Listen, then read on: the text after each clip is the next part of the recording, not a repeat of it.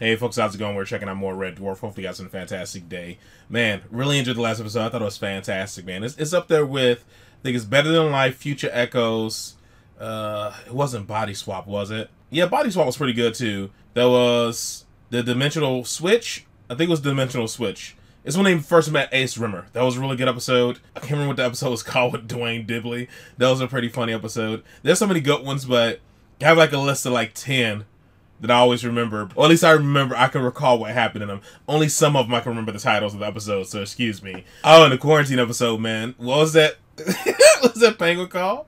Oh crap, was it Mr. Flibble? That was great as well. There's a lot of good episodes in the show. And the previous episodes going on that list, man, making it about 11 of my favorite episodes. I enjoy the show in general, but there are just some episodes that just I don't know. They're just they just stand so far above it, man. Where the the story was just fantastic. It was funny, the whole shebang.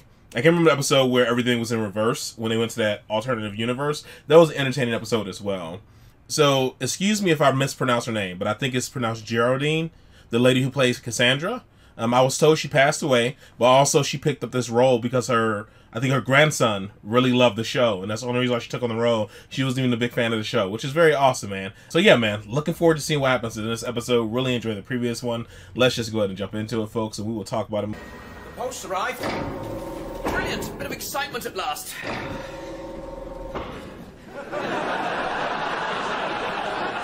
Oh my god. it just clicked. The structures Oh man, me my bed. brain is slow. I think it was those beans. Oh, the mail.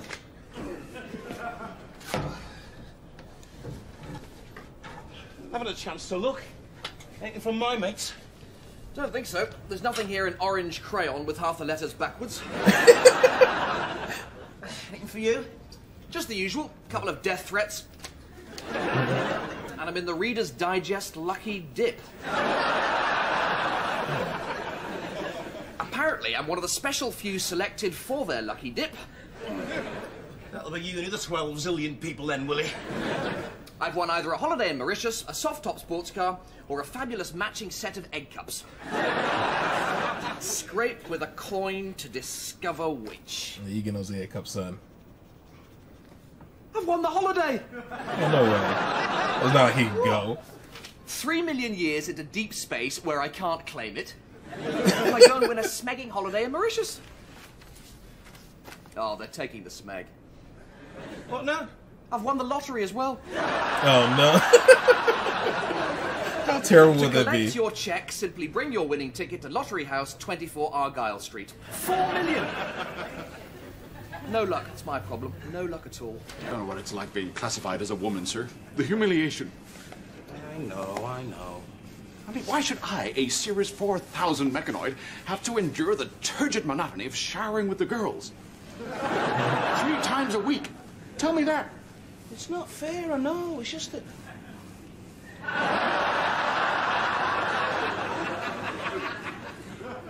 You shower with the girls.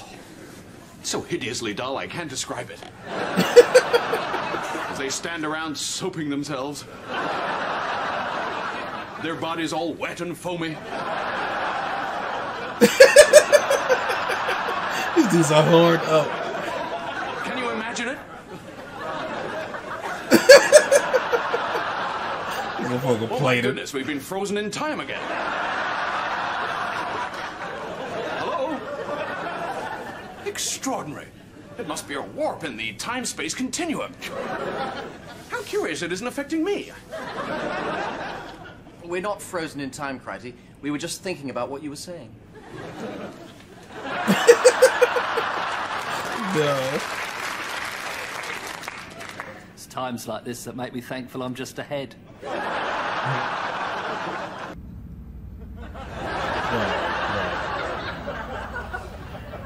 I have a date with Miss Patricia Carling from Supplies on Saturday night. She thinks my eyes are my loveliest feature. If I go like this, I'm only half lovely! That's a If not returned within 30 seconds, all canary privileges suspended. What bump? I know who stole your left peeper, sir. It was him, sir. I saw him playing marbles with it this morning, sir. Thank you, Rimmer.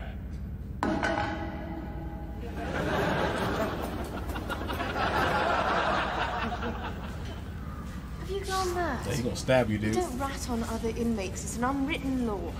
Look, if it helps the appeal, what else matters? Model prisoners? He lucky don't have shanks. Good evening. Tonight's scheduled feature has been cancelled and replaced by a special live pay-per-view event brought to you courtesy of Krytie TV. Transmitting live via my optical receptors, we bring you live and lithe Women's Shower Night. Oh no.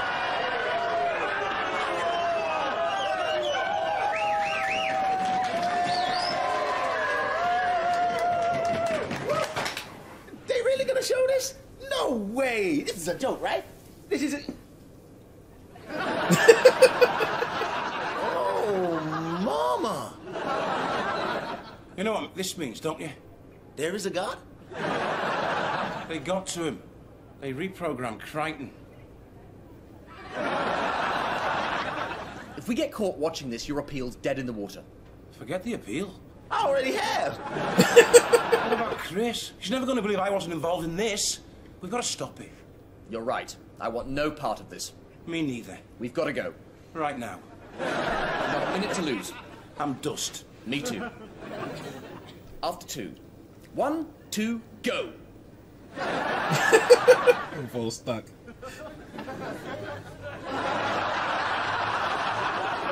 Why do you want to watch this with a bunch of dudes anyway? And now, I'm going to stare at a cracked floor tile.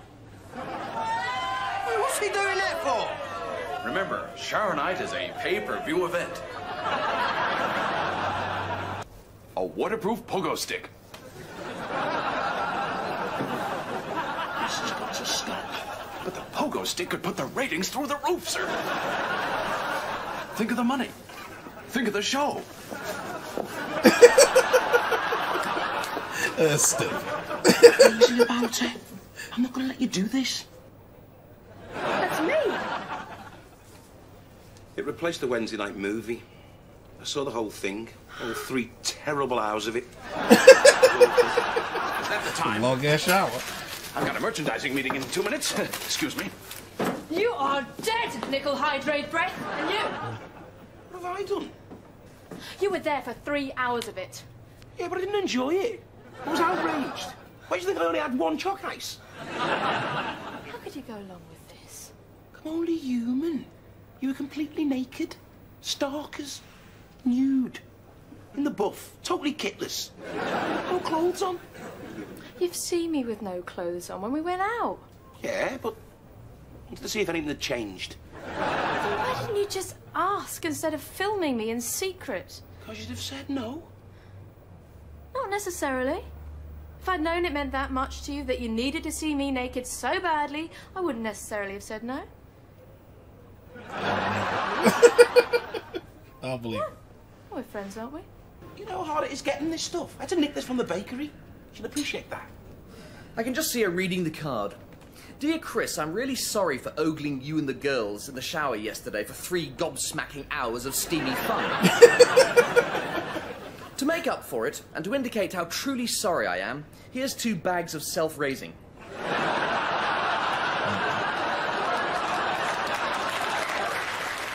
Something I didn't need any help with yesterday.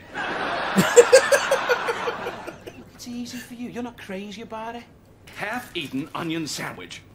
That's always a passion killer. Is it? I like those. Then there's this. Morris Dancer Monthly. What a total dweebo nerdmeister will look with those. They're mine. And then there's these. It would be his. Tragically unfashionable underpants. No. They're mine. He was rocking the tiny Finally, whiteys. Christian rock music. If that doesn't scare her off, nothing will. Have you been going through my things? I'm not forgetting Oh no.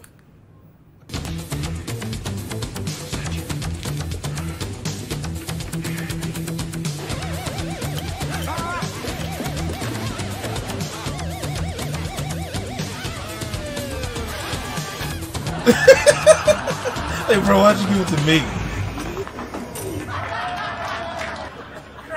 Come here a minute. I was just trying to boost the rating, sir. Get him. Get back to the tank. It was nothing personal.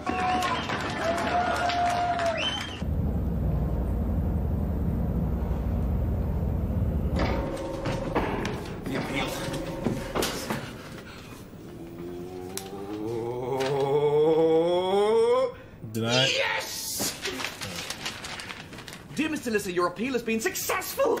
From this day forth, all inmates with no records of violence or depression will be allowed to have strings on their guitars.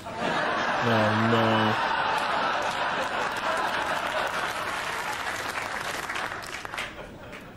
This appeal was all about guitar strings. You didn't think it was about getting out of here, did you? Bro. You mean to say I've been busting my balls so you can have strings in your lousy, stinking guitar?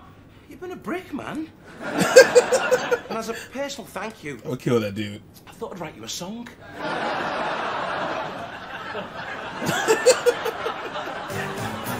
oh, Cool thing, dude. Alright, man. I'm be honest, this kind of just felt like a filler episode, you know, just to kind of like move on to the next point. Red Dwarf in general is a comedy, so I try not to like, you know, ask many questions, even though it always freaking happens. I'm wondering who reprogrammed Kryten. Was it that crazy guy? What's his name? Uh, Chaotic Jim or something. I don't remember his name. The guy with the crazy eyes who hit his head when he was walking into the room in the previous episode, and the one who said the tentacle thing ran away from him. I wonder if he reprogrammed because he wanted to see the shower thing so much because he just screwed the whole appeal thing, you know? Honestly, the majority of the funny moments that came from this were like the banter between Rimmer and uh, Lister. Also, watching this, I kind of saw this as an opportunity for Kryten and Kochanski to kind of like build a relationship or something because he doesn't like her. And he doesn't want Lister to get with her and all that shebang. Especially in season seven, he made that completely clear. So by him being locked up with her, I thought they were going to build some type of bond. That's why I thought it was going, but they barely touched base on it. Just that he was forced to shower with the women and paint his toes and all that jazz. You know, then he becomes gets reprogrammed and becomes like a voyeur cam for a bunch of perverts, which is one thing. Like first of all, cold blooded. Lister's kind of cold blooded. That is his, his friend. At the end of the day, like if you're not gonna stand up for all the chicks who are being exploited, you'll think be like, man, I don't want all these guys to see my the girl I'm in love with completely naked. But I guess not getting booty for a long time can change a man. So I chuck it up to just being locked up in prison for a long time and Lister being millions of years old and not getting any booty. I chuck it up to that. You get he gets a small pass where the horny and the primal instinct kind of overrode everything. And when the movie switched over, I'm guessing the guys probably paid the guards off. Like you know what happens in prisons where like they'll pay a guard off so they can go beat somebody up or something like that. I'm guessing that's the case and why they let the movie keep playing. Uh, when it was like overrode by that uh, when they were watching that Alien B film or whatever. I'm guessing they paid the guards off or something. That's why they're able to have like three hours of a nude shower. And who takes three hour shower? And even if they're swapping, like, all right, this set of women go in for 20 minutes. All right, this set of women go in for 20 minutes. Like, why did I cry to stay in there that long? You know? Uh, especially because the other times he was in there, he was like reading the book and under an umbrella, and now he's like looking up butt cracks and shit. like, yeah, oh, what's going on here? They're like, bro, get back over to your corner. Oh no. But yeah, man, this is this was goofy. The opening scene with Lister and Rimmer was pretty good. I was pretty late to that whole post joke when he had was carrying a will post. Like Jesus Christ, my brain's delayed. What's going on here? Of course, the really simple guys are horny kind of thing. Those really basic jokes, but I still got a laugh out of me. The dudes crossing their legs and stuff. Other three guys sitting there, I guess, kind of oblivious to what's going on. There are like three other guys there before I went to, to like the back, like women's crew or whatever. At least they look like guys. I could be wrong.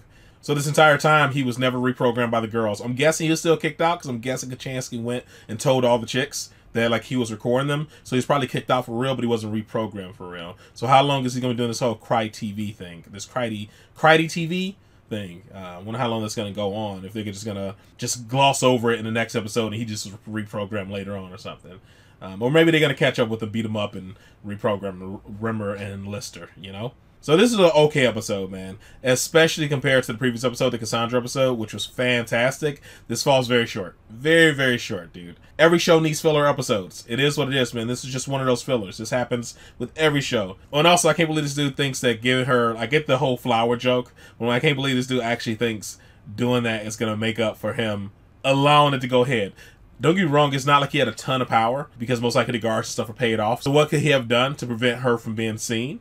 Because they're they're moving on to her next. The most he, I guess he could have done was ask the guards to let him out of the room so he can run to the lady shower room. But how many guards are gonna come across on the way there to scream in there and tell them Kochanski that hey, they're you're on camera or something? Like I don't really know what he could have done because I'm pretty sure there's a ton of obstacles in his way. Because if it was that easy to run over to the women's area and get into the shower to prevent something, guys would be over in the area all the time trying to sleep with the women. So I'm pretty sure there's a ton of obstacles. So I'm not sure exactly what he could have done to prevent it. But he still like, you know, watched it. So he played himself. And for three hours at that, played himself. So who knows if Kochanski's gonna forgive him for that as well. I have talked long enough. This was an alright episode, man. It was definitely a filler episode. If I was like watching the show over, this probably one of those episodes that I, I would skip. But it definitely felt like a filler episode for sure.